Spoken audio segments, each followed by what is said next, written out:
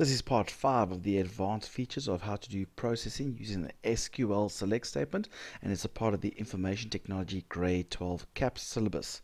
Now just a reminder about the database that we are using. We're using a CD database which has a CD table which has the following details.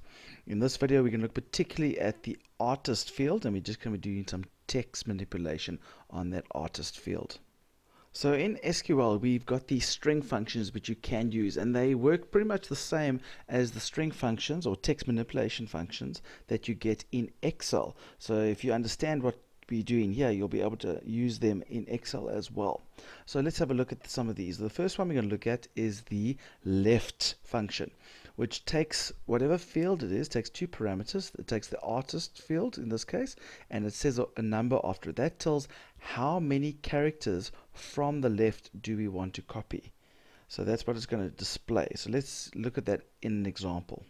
Here we have a query, select artist from CD, and what we're going to do is we're going to copy from the left of artist and we can specify any number and that'll be the number of characters from the left that it's going to copy so I'm going to say that uh, artist uh, so say 3 and we're going to give it a name as what can we call it uh, we just call it left 3 it's a terrible name but it'll work in our instance so if I run this example we will see that the artist is there and then here it has the first three letters of the artist. Now you might say there's only two for the first one, but remember that it's LL and there's a space. So it gives us the first three letters of all the artist names. So left will give us the first three, or first number of characters, however many we want. Um, but we also have a function called the right function, which takes any characters from the right side and moves that many characters back. So in this case, it'll take the last three characters of the artist's name. So let's apply to our example. So back to our example, we're going to add a new field called right of artist, and we're going to take the last three letters, and we're going to call this as right 3. And if you run it, there we can see this is our new field that we've created. And the last three letters in this case L space J is over there IND so it's the last three letters of the artist name is recorded in this particular field so we can copy from the left and we can copy from the right but what happens if there's something in the middle that we want? Well we've got a function for that and that's called the mid function but it takes three parameters and the reason is because we take the field that we want to copy from then we say which character do we start copying from. So in this case we're starting to copy from the third character and then the next uh, number that we provide as a parameter is how many characters from that third character must we copy so that is the same as if we copy the third and the fourth character because it starts at position 3 and copies for two places. In other words, it copies position 3 and it copies position 4 because that's two characters. So a reminder, it takes in the field that you're copying from. The next number is where we start, in which position do we start copying from.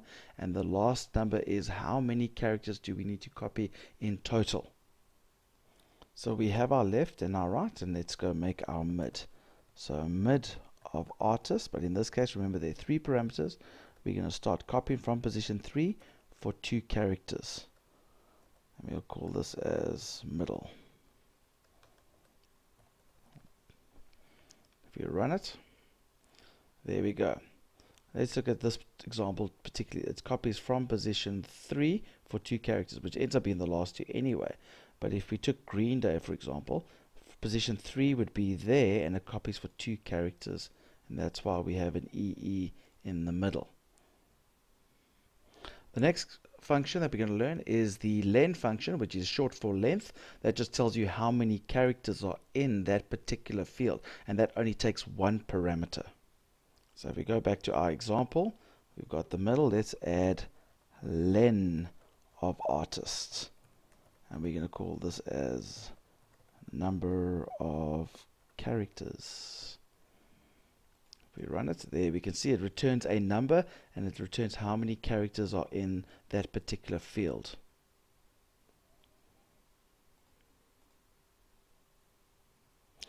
And the last two functions we're going to learn is the U case and the L case. And if you've probably guessed it, it's for uppercase and lowercase. Uppercase takes whatever the text is and puts it all into capital letters. And the L case takes all the text and converts it to lowercase so that it's in small letters. So if we're going to add another field here, well, let's actually just go take our artist over here. We're going to take artist and we're going to put a U case and then put it in brackets, the artist. So then it should display the artist in uppercase. You'll notice that because we've just put uppercase on the artist doesn't mean it affects the other functions. It's just converting that for this particular field.